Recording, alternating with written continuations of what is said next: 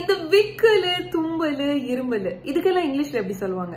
ஹே மக்களே welcome to my channel so basically விக்கல் அப்படின்னா ஹிக்கப் ஹிக்கப் அப்படின்னு சொல்லுவோம்.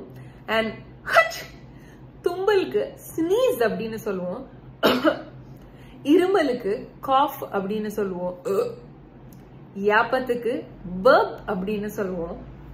அதே மாதிரி மூக்கு நோன்றது அப்படின்னு சொல்லுவோம்ல அத பிக்கிங் த நோஸ் அப்படின்னு சொல்லுவோம் அதுக்கப்புறமா கொட்டாவி விடுறது அப்படின்னு ஒன்று இருக்குல்ல அதை யானிங் அப்படின்னு சொல்லுவோம் யான் அப்படின்னு நம்ம சொல்லுவோம் அதே மாதிரி எஜுகேஷனல் பர்பஸ்க்காக நான் இதையும் சொல்லணும்னு நினைக்கிறேன்.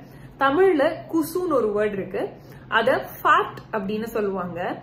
அண்ட் அதுல இருந்து வர அந்த சத்தம் ஒண்ணு இருக்குல்ல அது இங்கிலீஷ்ல குயிஃப் அப்படின்னு சொல்லுவாங்க. சோ புரிஞ்சிருக்கும்னு நினைக்கிறேன். அண்ட் இந்த வீடியோ உங்களுக்கு இன்ட்ரெஸ்டிங்கா இருந்ததுன்னா உங்க ஃப்ரெண்ட்ஸோட ஷேர் பண்ணிடுங்க. அண்ட் மறக்காம என்ன ஃபாலோ பண்ணிடுங்க. பாய் மக்களே.